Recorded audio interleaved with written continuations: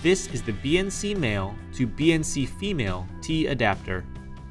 It features a BNC male connector on one side and two BNC female connectors on the other side. The adapter is made with a nickel-plated metal construction for maximum signal strength and durability. The adapter is typically used for connecting between an internal token ring network.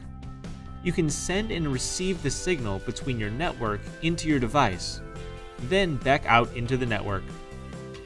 It is important to note, however, that any unused ports should be closed off using a terminator. The BNC male to BNC female T adapter is a quick and easy solution for your cabling projects. For more information on our products, please contact our customer service department at 888 519 9505.